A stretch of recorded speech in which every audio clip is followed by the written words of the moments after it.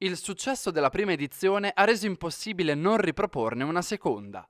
L'Adriatic Green Trail, manifestazione cicloturistica organizzata dall'associazione sportiva Fano Corre in collaborazione con Confcommercio Marche Nord, ritorna a far scoprire a tutti gli appassionati di bici le eccellenze paesaggistiche ed enogastronomiche del territorio. Tra sentieri sterrati e non trafficati, il 23, 24 e 25 aprile verranno raggiunti più di 30 borghi dislocati nella provincia, coinvolgendo tre aree centrali come quelle di Pesaro, Urbino e Fano. 360 km complessivi che potranno essere percorsi in gravel, mountain bike, e-bike e bici da trekking. Ognuno al suo passo e con il suo mezzo, dove si potrà scegliere tra un percorso lungo di 120 km o uno più corto di 80, nei quali si verrà guidati da una mappa che si potrà visualizzare sul proprio dispositivo.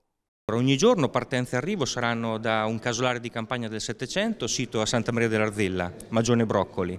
Inizieremo il 23 aprile con un percorso che toccherà principalmente Pesaro con la bellissima panoramica fino ad arrivare ai borghi di Tavuglia, di Gradare, poi torneremo per la festa finale al, al Magione Broccoli. Il secondo giorno, il 24 aprile, sarà la volta di percorsi che arriveranno fino ad Urbino, passando per la bellissima chiesa di Monte Santa Maria.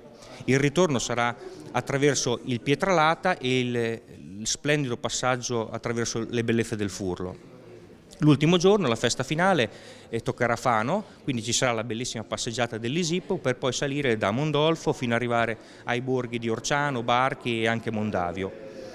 Non mancheranno eventi collaterali, assegna anche dell'inclusività, specialmente abbiamo il 25 aprile ci sarà una pedalata family con partenza e arrivo dall'Arco d'Augusto di Fano verso il Magione per un 10 km pianeggianti specialmente adatta ai bambini e alle famiglie. Il 22 aprile invece sarà la volta eh, della, di una notturna per la scoperta della Fano romana in cui proprio in questi giorni che abbiamo trovato la Basilica di, di, Vitruvio sarà uno spettacolo per i partecipanti scoprire di notte le bellezze romane della nostra città. Insomma. Un impegno aumentato quest'anno per Confcommercio perché abbiamo sostenuto anche la realizzazione delle nuove divise del gruppo degli organizzatori eh, che ovviamente le nuove divise che riportano bene in evidenza il logo di Confcommercio e dell'itinerario della bellezza e la guida dell'itinerario verrà consegnata a tutti i partecipanti a questa manifestazione, quindi è un modo anche indiretto